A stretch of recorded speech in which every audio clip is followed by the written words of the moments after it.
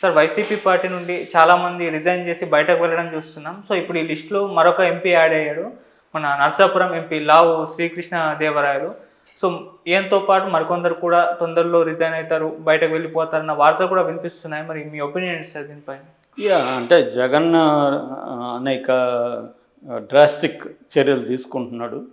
నేను గతంలో కూడా చెప్పాను. సో ఆయన మూడు రకాల ప్రాతిపదికల మీద ఈ నిర్ణయాలు తీసుకుంటున్నారు. ఒకటేమో సోషల్ ఇంజనీరింగ్. అంటే కొన్ని ఫార్వర్డ్ కాస్ట్లు ఉన్న చోట బీసీలను పెట్టడం కాపులు ఉన్న చోట బీసీలను పెట్టడం అలాంటి కొన్ని తీసుకుంటున్నాడు మిగతాదేమో దీన్నే సోషల్ ఇంజనీరింగ్ అంటున్నారు. రెండవదేమో పొలిటికల్ ఇంజనీరింగ్. అంటే ప్రత్యర్థులు బలమైన సామాజిక వర్గం ఉన్నప్పుడు అదే సామాజిక వర్గంలో బలమైన క్యాండిడేట్లను అక్కడ పెట్టడం. అంటే డబ్బులు ఖర్చు పెట్టుకోగలిగిన వాళ్ళు అవతల ఉంటే అదే స్థాయిలో. ఫర్ ఎగ్జాంపుల్ ఇప్పుడు విజయవాడ ఆ, కేసినేని చిన్ని తెలుగుదేశం తరపున ఉన్నాడు. ఆయన పెద్ద ఎత్తున డబ్బులు ఖర్చు పెట్టుకుంటున్నాడు. ఆల్రెడీ ఆయన విపరీతంగా ఖర్చు స్టార్ట్ చేశాడు.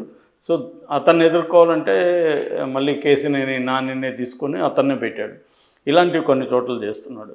మూడవ పద్ధతి ఏంటంటే అక్కడ స్థానిక వ్యతిరేకత ఉంటే దాని అది ఫైవ్ పర్సెంట్ ఉండొచ్చు టెన్ పర్సెంట్ ఉండొచ్చు అది కూడా డ్యామేజ్ చేస్తుంది కాబట్టి ఆ, అలాంటి వాళ్ళని కూడా మారుస్తున్నాడు సో దీని మీద టోటల్గా ఉన్న విమర్శ ఏంటంటే జగనే జనం జగను జనం అనే కాన్సెప్ట్ ఉన్నప్పుడు ఎమ్మెల్యేల మీద వ్యతిరేకత కంటే కూడా జగన్ మీద వ్యతిరేకతగానే దాన్ని అర్థం చేసుకోవాలి కదా.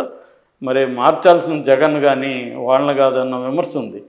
కానీ ఇక్కడ మనం అర్థం చేసుకోవాల్సిన ప్రాక్టికల్గా జగన్ మీద వ్యతిరేకత ఉన్నా జగన్ తాను వెళ్ళిపోయి ఇంకోరిని పెట్టలేడు కదా. పోని పెడితే వస్తారా గెలుస్తారా?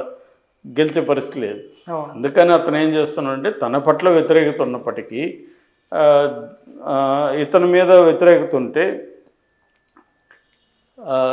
అక్కడ లోకల్గా ఏదన్నా వ్యతిరేకత ఉంటే దాన్ని మనం ఎలా అధిగమించవచ్చు. అనేసి అతను ఏం చేస్తున్నాడంటే కొన్నిటికి క్యాండిడేట్స్ని కొత్త వాళ్ళని పెట్టడం కొన్ని వాటికేమో రీషఫుల్ చేయడం. అంటే ఇక్కడ ఎంపీగా ఉంటే అక్కడ ఎమ్మెల్యేగా వేయడం అక్కడ ఎంపీగా ఉంటే ఇక్కడ తీసుకొచ్చి ఎమ్మెల్యేగా వేయడం రకరకాల పద్ధతుల్లో చేస్తున్నాడు. అంటే ఎమ్మెల్యేలని ఎంపీలుగా ఎంపీలని ఎమ్మెల్యేలుగా మారుస్తున్నాడు. సో ఈ కాంటెక్స్లో ఇప్పుడు కొత్తగా గుంటూరు జిల్లాలో నర్సరావుపేట ఎంపీగా ఉన్న లావు శ్రీకృష్ణదేవరాయలు రిజైన్ చేశాడు. నిజానికి ఆయన గత కొంతకాలంగా అసంతృప్తిగా ఉన్నాడు. ఎందుకంటే నర్సాపురంలో ఈయన కమ్మ కులానికి సంబంధించిన వ్యక్తి. ఎవరు లావు శ్రీకృష్ణదేవరాయలు. వాళ్ళ నాన్న వెరీ ఫేమస్ విజ్ఞాన్ రత్తయ్య అంటారు ఆయన్ని. రత్తయ్య గారు ఆయన విజ్ఞాన యూనివర్సిటీ ఉంది. యాక్చువల్గా ఈ అబ్బాయి కూడా ఆస్ట్రేలియాలో చదువుకున్నాడు. దాని తర్వాత అమెరికాలో చదువుకున్నాడు. మీడియా స్టడీస్ చేశాడు. అక్కడి నుంచి వచ్చి తన దీనికి వైస్ చైర్మన్గా ఉన్నాడు విజ్ఞాన యూనివర్సిటీకి. సో జగన్ కొత్త వాళ్ళకి ఎవరికైనా ఇద్దాం అనుకున్నప్పుడు ఇతను దృష్టిలో పడ్డాడు.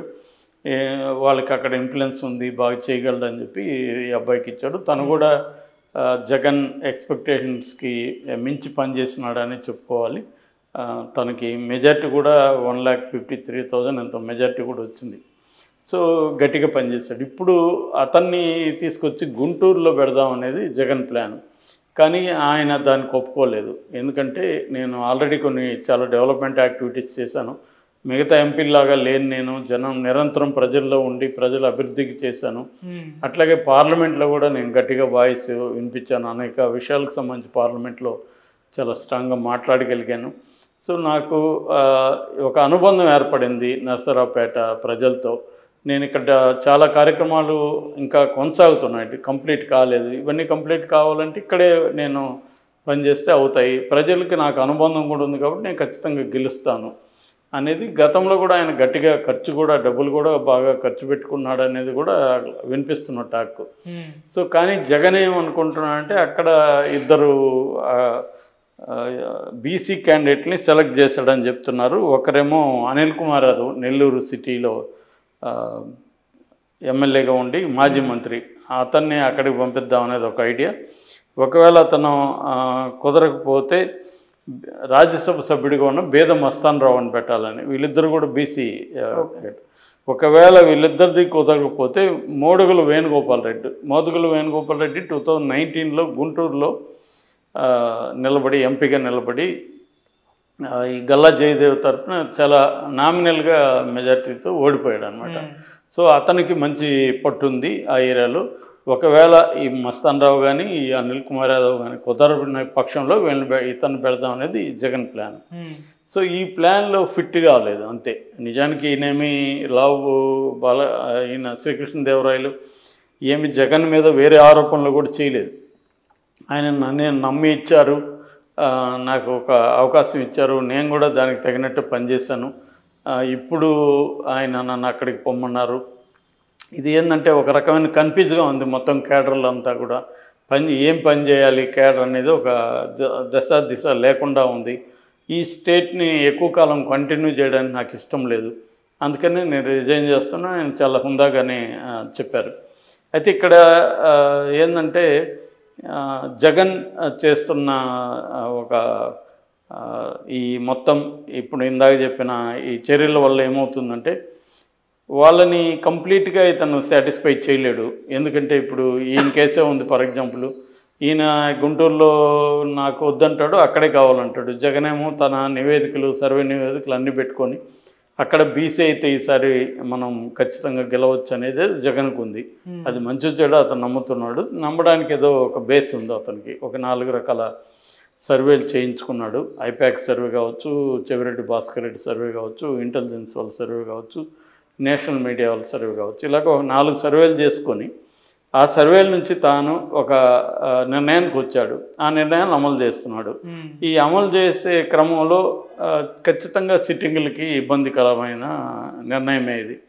సో వాళ్ళందరూ రెబల్స్గా మారే అవకాశం ఉంది. ఆల్రెడీ బాలశౌరి మచిలీపట్నం ఆయన బయటకు వెళ్ళిపోయాడు. ఆయన ఆల్రెడీ జనసేనలోనే చేరిపోయినట్టుగానే ఆయన ప్రకటించుకుని మచిలీపట్నానికి ఎంపీగా ప్రకటించుకుంటున్నాడు ఆయన. నిజానికి ఇంతవరకు తెలుగుదేశం జనసేన కూటమి మధ్య సీట్ల సర్దుబాటు కంప్లీట్ అయ్యి ప్రకటించలేదు. షెడ్యూల్ వచ్చినాకనే ప్రకటిస్తారని చెప్తున్నారు. కానీ ఆయన అలా చేశాడు. ఇట్లా కర్నూలు ఎంపీగా ఉన్న డాక్టర్ సంజీవ్ కుమార్ ఆయన్ని తీసేశారు. ఆయన కూడా బయటకు వస్తున్నాడు. ఇంకొక ఇద్దరు ముగ్గురు ఎంపీలు కూడా బయటకు వస్తున్నారా అని చెప్తున్నారు. ఇక ఎమ్మెల్యేలు కూడా అనేక మంది బయటకు వస్తున్నారు. మనం చూసాము కాపు రామచంద్రరెడ్డి రాయదుర్గం కావచ్చు ఆళ్ళ రామకృష్ణారెడ్డి కావచ్చు మంగళగిరి నంది కొట్కూరు ఆర్తర్ కావచ్చు పెనుమలూరు కొలనపుర ఆయన పార్థసారథి కావచ్చు ఎలీజా కావచ్చు కనిగిరి ఎమ్మెల్యే మసూద్ యాదవ్ కావచ్చు గురజాల ఎమ్మెల్యే జంగా కృష్ణమూర్తి ఆయన ఇంకా రిజైన్ చేసి బయటకు రాలేదు కానీ ఆయన ఆల్రెడీ ఆ, కార్యక్రమంలోనే ఉన్నాడు. అంటే నాకు టికెట్ ఇకపోతే నేను ఇండిపెండెంట్గా చేస్తానని ఆయన చెప్తున్నారు. అట్లాగే ఆల్రెడీ ఎమ్మెల్సీలుగా ఉన్న శ్రీ రామచంద్రయ్య కానీ వంశీకృష్ణ యాదవ్ శ్రీ రామచంద్రయ్య ఏమో దాడి వీరభద్రరావుతో కలిసి తెలుగుదేశంలో చేరాడు. వంశీకృష్ణ యాదవ్ ఏమో జనసేనలో చేరాడు. ఇలాగా చాలామంది ఏంటంటే ఆల్రెడీ తెలుగుదేశంలో చేరడానికి ట్రై చేస్తున్నారు. కొంతమంది ఏమో చంద్రబాబు కొన్ని చోట్ల వాళ్ళు చంద్రబాబు కూడా ఏంది వాళ్ళు కోరుకున్న దగ్గర ఆయన కూడా ఇవ్వలేడు ఇవ్వాలనుకున్నా కూడా. ఆయన ఇంకెక్కడో ఇస్తానంటాడు. మళ్ళీ ఇక్కడికి వచ్చి ఇంకెక్కడో చేరి అదేదో జగనే ఆఫర్ చేస్తాడు కదా అనుకొని కొంతమంది రాలేకపోవచ్చు. సో వీళ్ళకి ఆ ప్రాబ్లం ఉంది. ఫైనల్గా వీళ్ళకి దిక్కు ఎవరంటే షర్మిలాక్కనే మళ్ళీ. ఎందుకంటే ఆమె ఖాళీగా ఉంది. వాళ్ళ పార్టీ ఖాళీగా ఉంది కాబట్టి ఎవరికైనా ఎక్కడైనా ఇచ్చే పరిస్థితిలో వాళ్ళైతే ఉన్నారు. కాకపోతే అక్కడ హోప్ లేదు. గెలుస్తామని. వీళ్ళ బలం ఆమెకి యాడ్ అవ్వాల్సిందే కాంగ్రెస్ పార్టీకి కానీ కాంగ్రెస్ పార్టీకి బలం లేనప్పుడు వీళ్ళకి ఏంటి ఉపయోగం? దాని బదులు ఇండిపెండెంట్గా పోటీ చేయొచ్చు కదా అన్న అభిప్రాయం చాలామంది. అందుకనే మనం చూస్తే ఇమీడియట్గా ఏమీ నిజానికి నిన్ననే చాలామంది చేస్తారు ఇరవై మంది చేస్తారు అలాంటి పుకార్లు బయటకు వదిలేరు కానీ నిన్న ఎవరు చేరలేదు. ఆ, ఆళ్ళ రామకృష్ణారెడ్డి ఒకటే జాయిన్ అయ్యాడు. ఆయన ఏదో నేను ఇరవై మందిని చేరుస్తానని ప్రగల్భాలు పలికాడు కానీ జా వీళ్ళు ఏంటంటే ఆలోచిస్తుంటారు. ఇంకా ఎక్కడ మనకి ఏదన్నా జనసేనకి ఏమన్నా ఓపెన్ అవుతుందా? లేకపోతే తెలుగుదేశంలో ఎక్కడైనా ఓపెన్ అవుతుందా ప్లేసు? ఉంటే అక్కడికి వెళ్దాం అనేది బెటర్గా అనుకుంటారు. కాంగ్రెస్తో పోలిస్తే తెలుగుదేశం అయినా జనసేన అయినా బెటర్ పార్టీ వాళ్ళకి. ఎందుకంటే ఎంతో కొంత ఈ పార్టీ క్యాడర్ కానీ ఇమేజ్ కానీ వాళ్ళకి పనిచేస్తుంది. రివర్స్లో ఇప్పుడు కాంగ్రెస్లోకి పోవాలంటే ప్రాబ్లం అదే. కాంగ్రెస్లోకి నిజానికి వెళ్ళే అవకాశాలు ఉన్నాయి. వాళ్ళ కోరిన సీటు కూడా ఇస్తారు. కానీ కాంగ్రెస్లో పరిస్థితి ఏంటి? వాళ్ళ బలం అనేది లేదు కాబట్టి వీళ్ళే వాళ్ళ బలం అవ్వాలి. సో ఈ ప్రాబ్లం ఉంది. అందువల్ల ఇదంతా నేను అనుకోవడం ఇంకొక వన్ మంత్ అట్లా సర్దుకుంటుంది వైసీపీలో. దాని తర్వాత తెలుగుదేశం జనసేనలో స్టార్ట్ అవుతాయి. వాళ్ళు టికెట్లు ఇచ్చే సమయానికి అక్కడ మళ్ళీ ఇదే గొడవలు స్టార్ట్ అవుతాయి.